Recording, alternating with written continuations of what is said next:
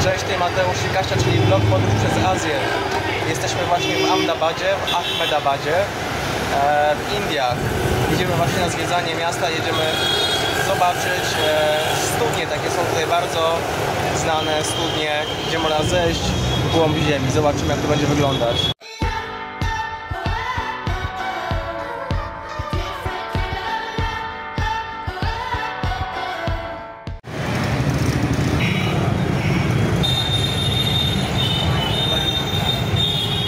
Zanim jeszcze ruszymy na zwiedzanie, idziemy na śniadanie. Taki mały, poranny rym. Ale mamy dzisiaj śniadanie, tosty z, co to jest? Cheese and tomatoes toast. A ja mam pizzę z suszonymi pomidorami.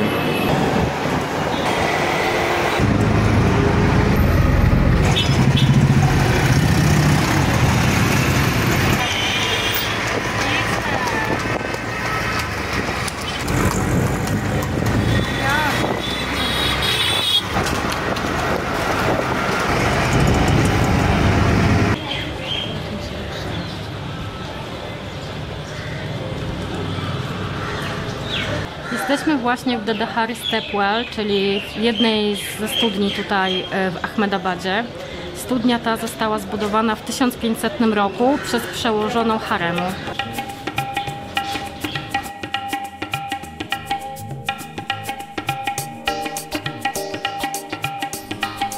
I dotarliśmy do końca studni.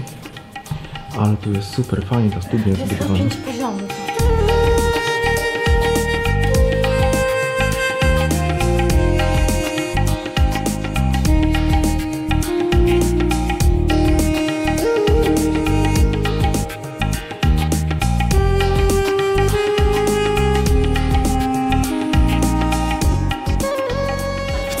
Ahmedabadzie jest co najmniej kilka takich em, studni, co najmniej kilka takich studni. Co najmniej na mapie doliczyłem się z pięciu chyba, z trzy, cztery, pięć, coś takiego na pewno. To miasto słynie z tego. Mhm.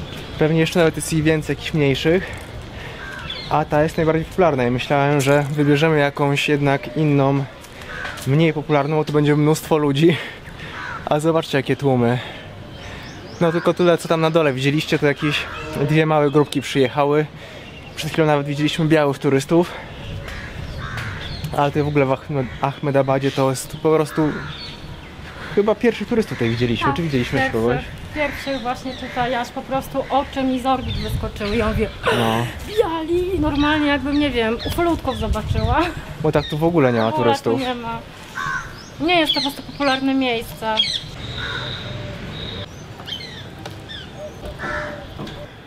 Is this Rose? Rose. Rose. um, Rose. Palace or...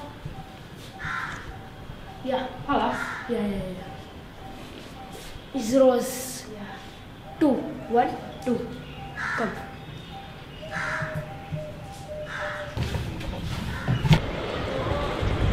I jeszcze wyżej. O, ale to jest gorąco, stopy.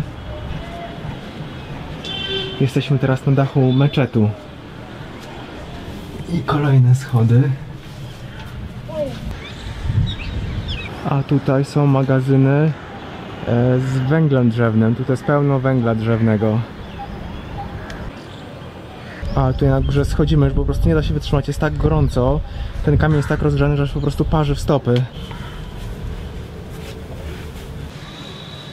Ale tu oczywiście zaczyna się już wyciąganie kasy od turystów. Oczywiście tutaj pojawi się pan, e, który chyba napisał, że tutaj mieszka. Jest jego syn, pokazał nam naszego syna. Nasz syn zaprowadził, bo tutaj jest meczet, a tutaj jest grobowiec. I dopiero jak weszliśmy na sam szczyt tego meczetu, chłopiec powiedział, że stówę. Najpierw chyba powiedział, że stówę Tak, najpierw tak. 50, 50, 100 two person. Dobra, masz tą stówę. No, no, ja mu daję stówę. On, Nie, nie, nie. Jeszcze jedno. Jeszcze jedną stówę. 100, 100. A ja mówię, nie, nie, nie, nie. Za dużo, sorry, za co? Poza tym przepraszam bardzo, oficjalny bilet proszę mi dać, nie ma problemu. Ale to ten mały coś kombinował, mały. bo ten jego ojciec chyba. Potem jeszcze chciał już za wejście tutaj do tych grobowców. I mówię, że tą małą już zapłaciliśmy. Aha, okej. Więc po prostu ten mały chyba coś kombinował, chciał jeszcze do kieszeni.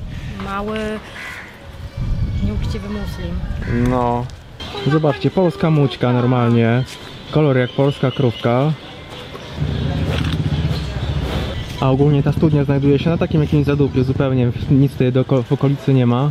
Jakaś taka mniejsza boczna uliczka. Tak, więc tutaj jest po prostu na uboczu, no tak już na przedmieściach e, Ahmedabadu. A teraz jedziemy do kolejnej destynacji, jedziemy teraz na Kankaria Lake i czekamy na Ubera, ale z Uberami jest tutaj po prostu masakra. Dzisiaj przed tym jak tutaj jechaliśmy, zamówiliśmy jednego Ubera, czekaliśmy chyba z 15 minut, anulował. I, a, nie ruszał się. W ogóle jak A nie, stał, tak nie, nie, nie, pierwszy nie ruszał się, nie ruszał, więc ja go anulowałem. Dostałem opłatę karną, cenę przejazdu plus 5 e, rupii. Muszę to zgłosić, żeby mi oddali, no bo po prostu 15 minut stał w miejscu i się nie ruszał. Więc go anulowałem. Potem zamówiłem drugiego. Zamówiłem drugiego i drugi po 10 minutach sam. I drugi po 10 minutach sam e, anulował przejazd. I potem chyba dwa razy zamawialiśmy Ole, e, tuk-tuka i w końcu się udało, ale no, chyba z pół godziny albo nawet godzinę nam zajęło, żeby tutaj dojechać. A to 3 km. Oj, podjechał nasz Uber.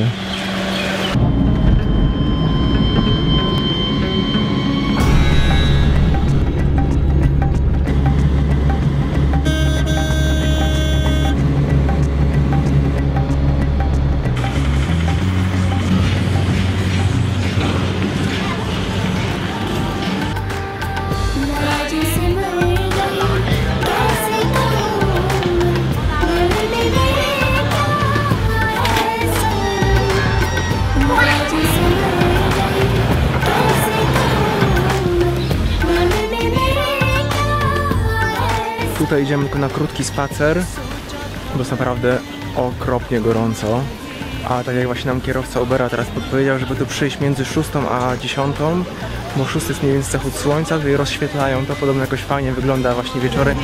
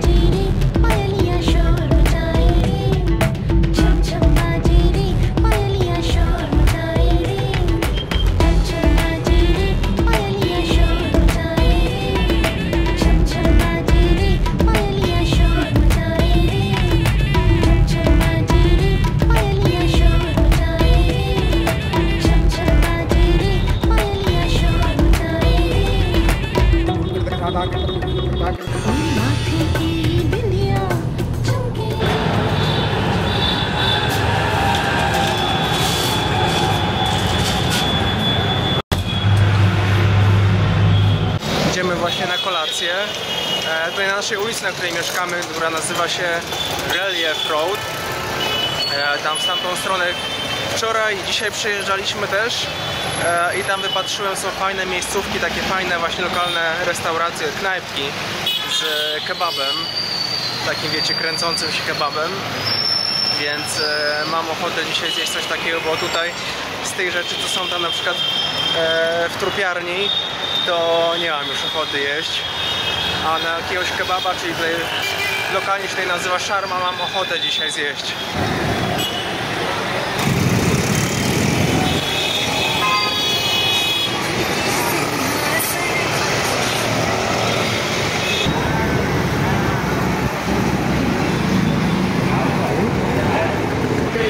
Jesteśmy w takiej naprawdę niezłej dziurze, spelunie. Jesteśmy w spelunie, ale tutaj właśnie sprzedają bardzo fajne kurczaki. O, zaraz tam pójdę nagrać jeszcze. Ale to najpierw zrobimy test piwa. Znaczy to jest piwo bezalkoholowe. Pan powiedział, że to jest beer. Dragon Soft Black Cobra. Jesteśmy w stanie, w którym panuje prohibicja. Tak, tutaj nie można. Aha. W całym budzieracie, a jedynie deal jest. To jest jabłkowe. To jest jabłkowego. O, to smakuje jak oranżada nasza. Nasza oranżada polska.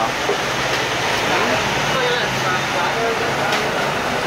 Jeśli w ogóle można powiedzieć, że raczej jest smak bez alkoholu dnia. No to jest dosyć specyficzny smak, to nie wiem co to jest. Może jabłkowe, rzeczywiście. Jabłkowe, czuję Jakieś jabłko. owocowe. A to jak oranżada gazowana, bardzo dobra. No, dobra. A tutaj właśnie smaży się kurczaczek.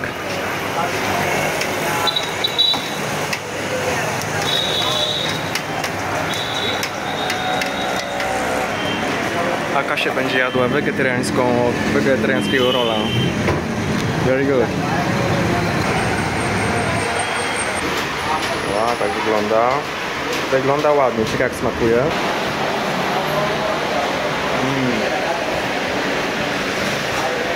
Bardzo dobre, bardzo dobre.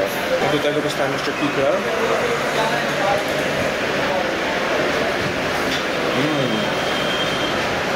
Bardzo dobre, też pik... O, jaka ostra jest papryka.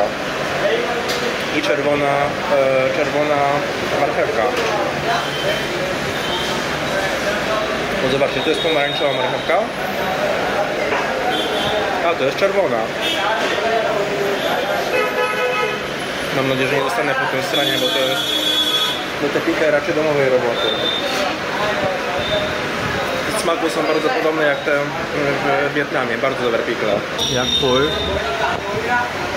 Wow, jest, są, w środku są same warzywa i majonez, duże ilości majonezu. Ale ten majonez jest taki całkiem dobry. Ogólnie dobre? Dobre. O tej porze wszystkie sklepy są już pozamykane. Ja to jest, sorry, muszę patrzeć pod nogi, ponieważ o tutaj akurat właśnie leży. Krowia kupa. Trzeba uważać na krowie kupy. Naprawdę. O tej porze wszystkie sklepy zamykają, właśnie przed chwilą zamykali. Ale jeszcze jedzenie jest otwarte myślę, że gdzieś do 10-11. Już też zerżał ruch na drodze. Okolica tutaj nie wygląda najlepiej, ale w sumie nie czuję się jakoś niebezpiecznie. Może nie czuję się komfortowo, to jest dobre określenie, ale nie czuję się niebezpiecznie. Nie czuję się, że ktoś mnie tu zaraz zaczepi, zabierze mi telefon czy coś, chociaż nie nagrywam aparatem, bo ta aparat za bardzo zwraca na siebie uwagę. Ale z telefonem nie ma problemu. Tutaj do tego kebaba musieliśmy dojść e, kilometr, półtora kilometra. Półtora kilometra. O, tutaj krowa wypatruje na nas.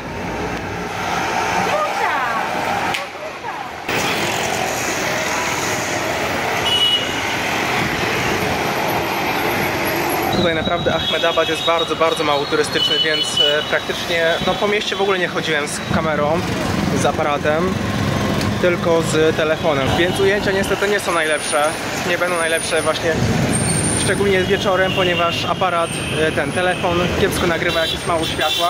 Ja mogę powiedzieć tylko jako kobieta, tak, że ja się nie czuję w tym mieście komfortowo ani w dzień, ani w nocy. E, I to jest chyba takie drugie miasto po Chennai, gdzie się czuję źle. Mnie tu taki kryzys, jeśli chodzi o Indię. Zaczynam widzieć coraz więcej takich minusów, jeśli chodzi o mnie jako kobietę, ale nie wiem w sumie czy o tym opowiadać, bo potem wszyscy mówią, że narzekam. Hello. Po co tak daleko byliśmy na jedzenie? Ponieważ e, w naszej okolicy tutaj jest tylko jedzenie wegetariańskie, a jedyne miejsce, gdzie widziałem w ogóle jakiekolwiek mięso, to tam właśnie z tyłu. Za nami właśnie, tam są tylko muzułmanie i tam e, jest mięso właśnie. Na dzisiaj już będzie tyle. A właśnie, bo zapomniałem, mieliśmy przecież jechać tam nad to jezioro.